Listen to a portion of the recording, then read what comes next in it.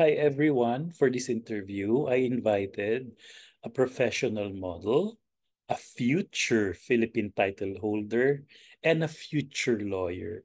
Please welcome Chanel Diaz.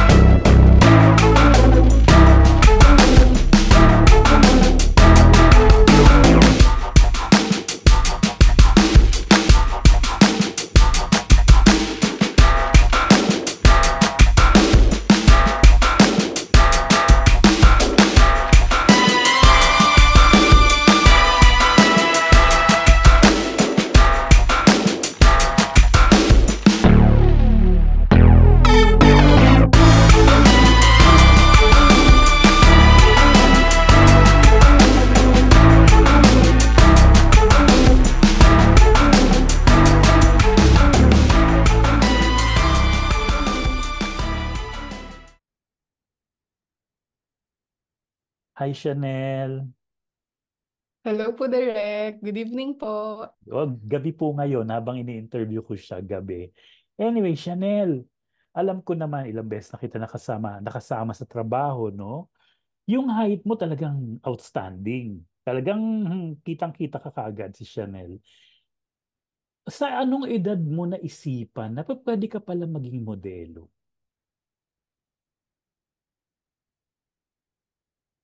Ah, yes po, Direk. Ah, ever since elementary pa lang po ako, I always wanted to be a model. And uh, lagi po akong tumitingin sa mga brochures, tapos nanonood ng mga fashion show, and ini-imagine ko yung sarili ko na as if I am that girl in the brochure or I am that girl walking on the runway.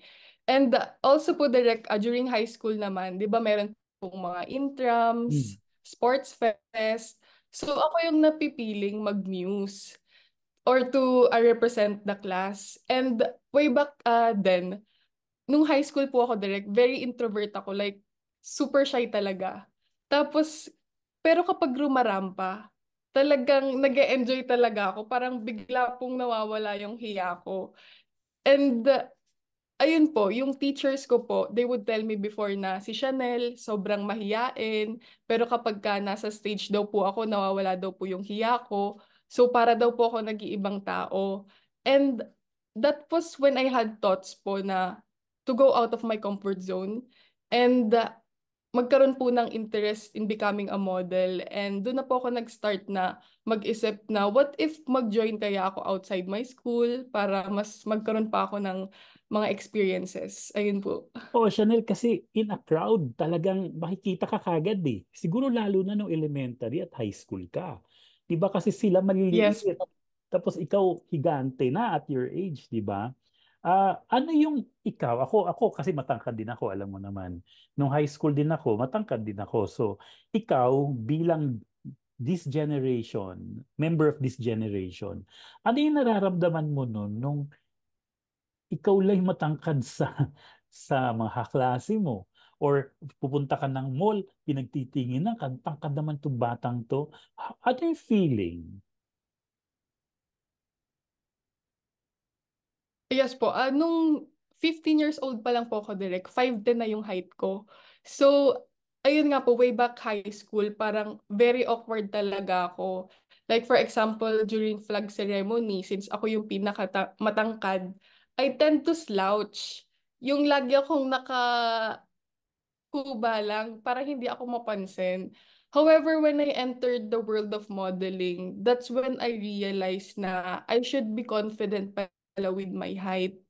Na when I entered modeling, that's the time that I realized that my height could really be my strength and my asset po.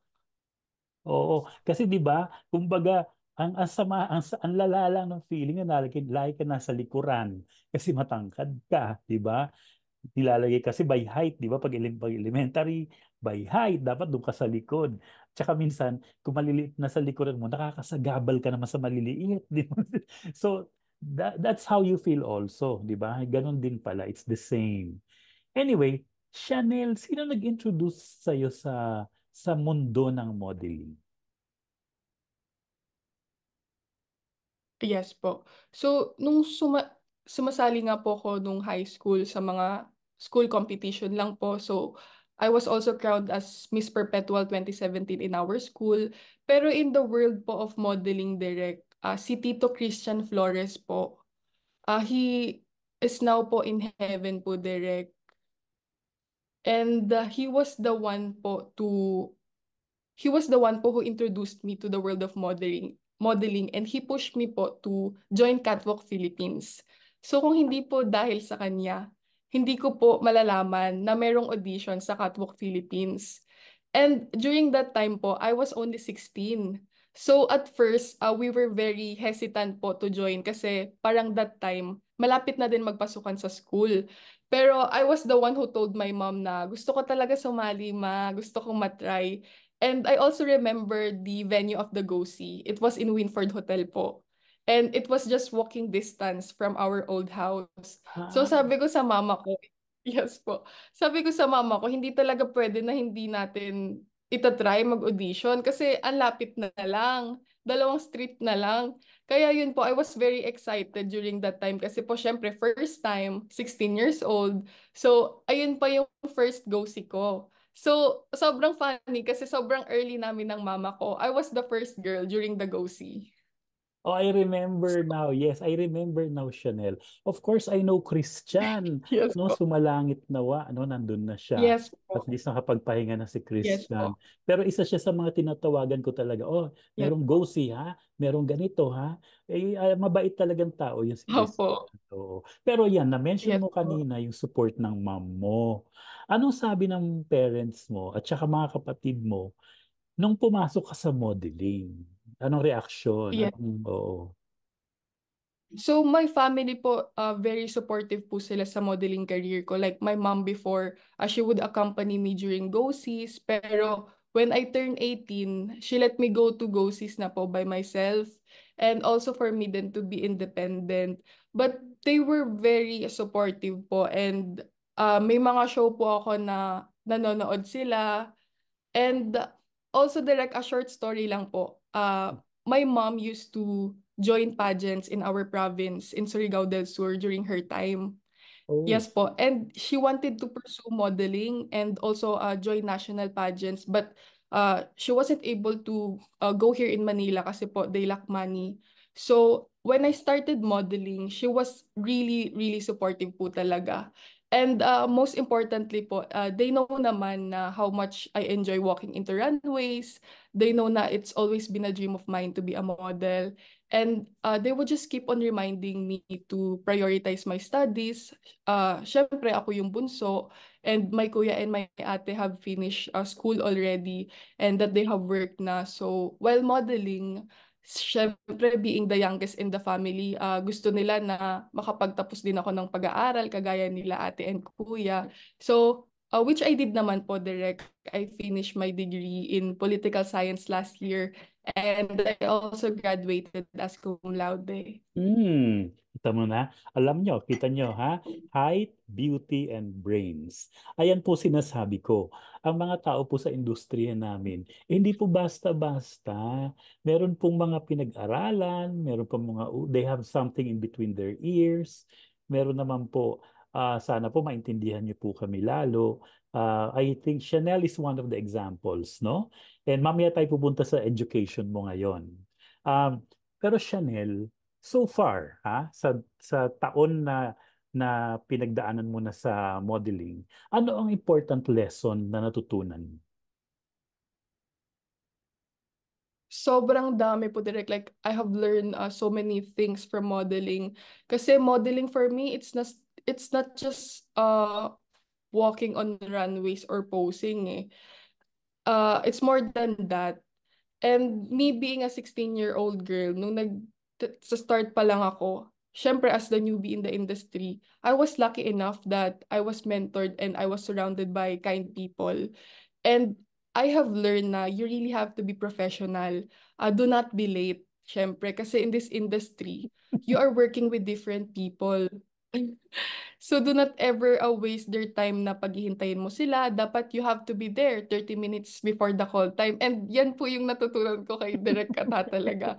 Na Naku, you hanggang, have to be professional. hanggang ngayon pala, nandyan sa mga Yes utak po. nyo yan. Anyway, hindi totoo Yes naman. po. Diba Chanel, And I, I like what you said. Do not waste other people's time. That's very correct. Diba?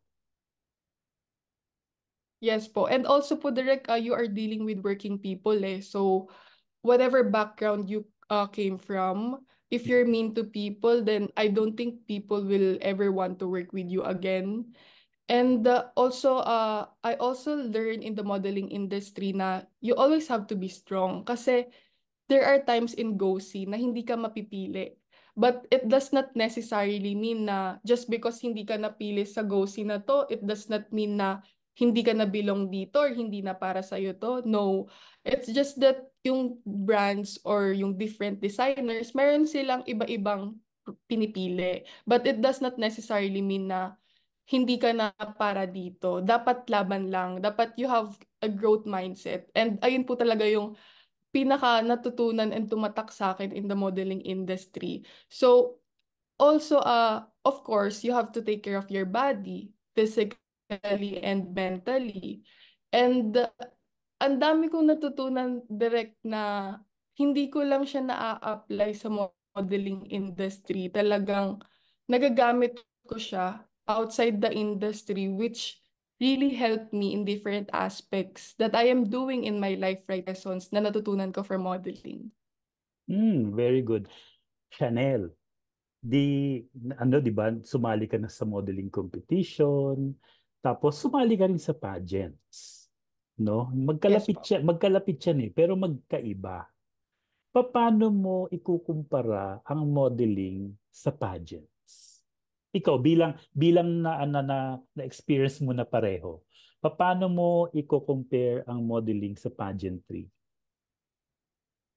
Okay po. So both modeling and pageantry is an industry that I enjoy. I both love and enjoy. Pero it has difference po direct uh, in a way na in pageantry, uh, you can express yourself through your advocacy first and foremost. Uh, basically, you are representing yourself. So ikaw yung brand. You are the brand. Well, in modeling, uh, you are working to represent the brand that you're working with. Like for example, uh, when you are working with a designer, uh, you have to perform it in a way na gusto ng designer to, kung paano i-execute. So, in modeling, uh, you really have to be uh, ready for whatever the brands or the designer uh, wants you to do since you will be working with different people and they do have different styles, they do have different designs. Ayun po. Oh, ah, Chanel, hindi ka lang matangkad, hindi ka lang maganda. Meron kang utak. Okay? Currently, ikaw ay nasa law school. Paano mo mare-reconcile yung modeling and pageantry mo sa pagiging law student mo? Hindi ba conflict? Yes po, Derek. Uh, currently, uh, I'm a law student po in San Beda. And uh, yes po, uh, law school po talaga, it is indeed uh, very challenging. Like starting law school, it has always uh, been a dream of mine. And ngayong nasa law school na ako, uh, sometimes uh, it still feels uh, surreal to me. And masasabi ko po na yes, uh, very challenging siya. Pero it's definitely been a learning curve na sobrang na-enjoy ko. And as much as possible po na gusto ko po siyang i-juggle yung modeling and law school since both love ko sila and I'm not uh, closing any doors po to anything. Sa ka ba, Menjola o Alabang? Sa Menjola po. Ay, Diyos ko, may, may, may campus. May alma mater. yes, po, direct. anyway, tsaka tayo mag-usap tungkol dyan. Marami akong sasabihin sa iyo tungkol sa mga law. anyway, hindi kasi uncle ko dati, dating ano dyan, professor, si Natura. I don't know if you know him. He's an author of law yes, books. Po, so, dati siyang justice. Uh, he's my uncle. So, dating dyan yan sa San Beda. At saka malalapit din ako sa mga college of law before. Opo. Actually, uh, direct gamit ko po yung Constilo book ni Natura. Ah, meron ka nun. Oo, wala na si Tito eh. Wala, nasa heaven na rin siya. Anyway, Chanel, alam ko ang sistema lalo na dyan sa Menjola. Alam ko sistema ng law school. Siyempre dyan may, alam mo naman ang, ang, ang law, ang mga lawyers, may mga egos din. Okay? At alam ko yan. Hindi ka ba nadi-discriminate dahil model ka? Uh, so far naman po, Derek, I, uh, I don't get discriminated naman po in law school kasi I am model. Pero sobrang funny kasi yung law school friends ko, meron silang pare-parehong same first impression sa akin. So, during nung orientation, tsaka nung mga first week sa law school, upon seeing my pictures in social media, akala mm. daw talaga nila, masungit ako, maldita, hindi daw namamansin, ganyan. So, in one of our subjects in law school, I am one of the subject bidels. So, yung term po na bidel sa law school is parang ikaw yung parang president ng subject na yon or ng class na yon. Oh. So, I am one of yung ano ko po, closest friends ko na ng ngayon na dati hindi ko siya ganun ka-close. Sabi niya, when she has questions daw regarding sa class, pinipili niya na lang daw na hindi ako i-approach. Kasi natatakot daw siya na baka i-ignore ko lang or hindi ko sagutin kasi nga based daw sa Instagram ko, mukha daw akong masungit na maldita, ganon. Pero mm. they were surprised naman po na as they get to know me, it turned out to be the opposite naman of their first impression. Oo nga, Diyos ko ba't naman ganun na impression? Kilala din kita. Kilala ko po ito. Isa to, isa to sa mga mababait na modelo. Tahimik lang po yan. Very, very unassuming. Gagawin niya yung dapat niyang gawin. She follows instructions. Huwag po kayong mag-alala, mabait po yan. Kung may nanonood po dito na College of Law student ng San Beda, taga San Beda rin po kasi ako. Menjola, same campus. Ano po ito? Very amiable giant matangkad pero very amiable yan. Ano yan? Hindi yan suplada. Tahimik. Tahimik lang, di ba Chanel? Hindi ka naman yung yung loud na ganun. Pero approachable naman yan. Don't don't hesitate. Okay? Mabait po yung batang yan. Anyway, Chanel, nasabi mo na kanina kung pwede mo i-juggle ang studies between studies and the modeling. Ano na ba talaga ang plano mo sa modeling? Kasi nasa first year ka pa lang sa law eh. First year pa lang, di ba? First year. Yes. Oo. Opo. So ano na ba talaga? Uh, kunwari, pinapunta kita sa GOSI ngayong February. Darating ka ba? Darating po ako dire.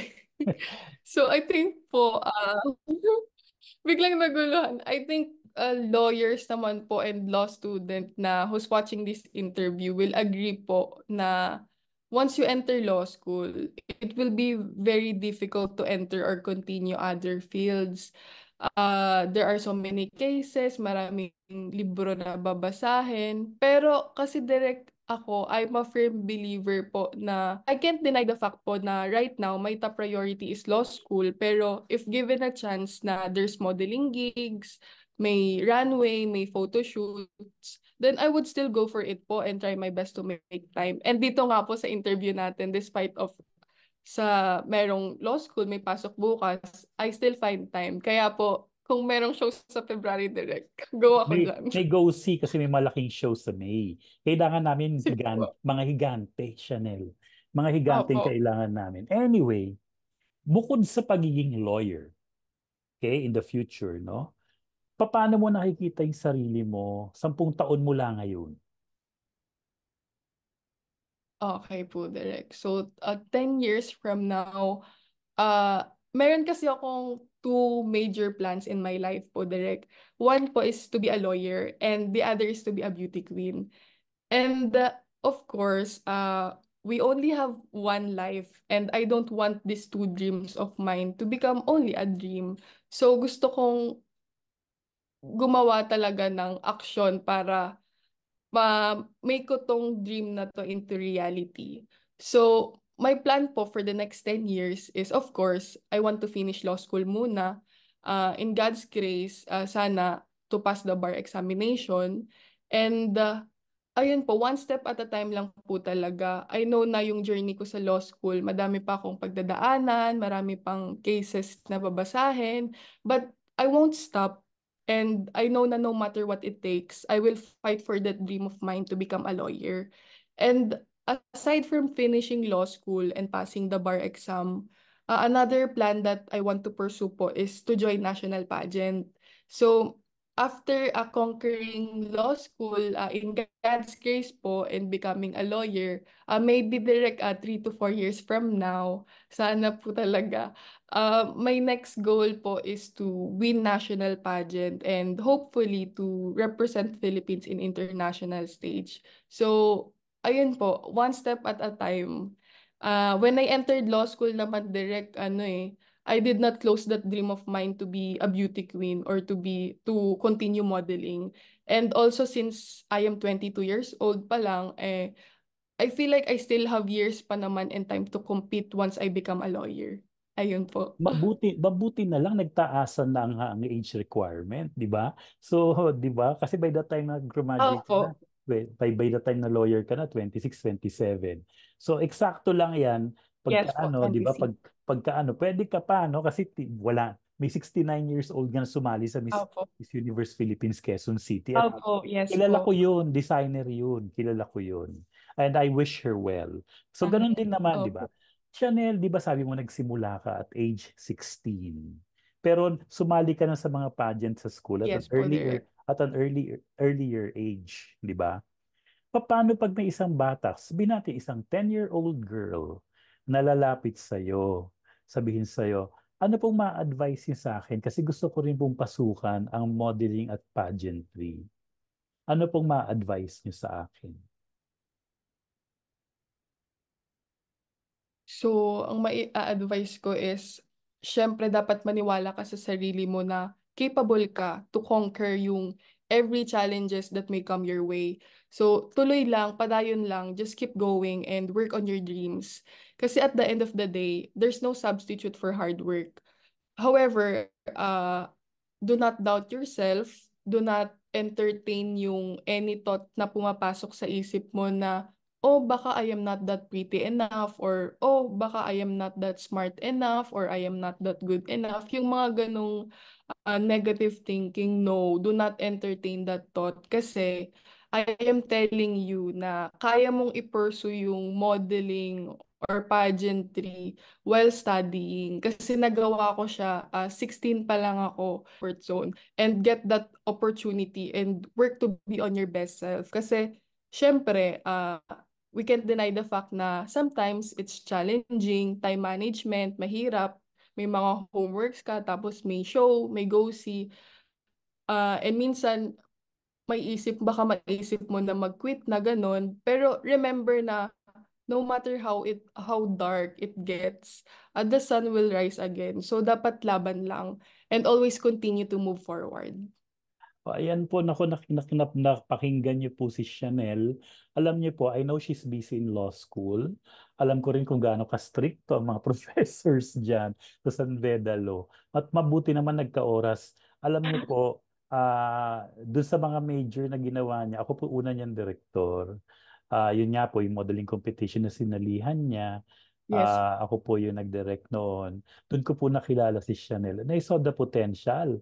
Kasi nga naman, higanti na ho ito. Napakahigante. I don't know kung if you're 5'10". 5'11 ka na yata, ano? 5'11 po direct. Oo, matangkad na yan. So Chanel, thank you very much for this uh, time that you gave. And uh, I will inform you kung kailan ilalabas ito. But in all probability, sa next week. So i-inform kita, I'll Ah, send you the link. But thank you very much for saying yes to this. yes po direct. Anytime po for you po direct. Say bye-bye to our audience. Thank you. Bye-bye po.